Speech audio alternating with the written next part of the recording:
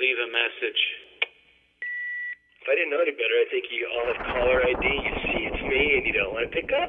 What's up with that, man? Come on, man. I don't need this crap.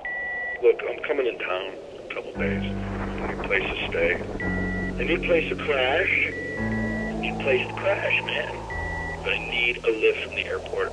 But uh, I'm gonna live from the airport, and uh, I'll make it up to you. Won't. Kill your while you're. Kill your while you're. Kill your while you're. Kill you while you're sleeping.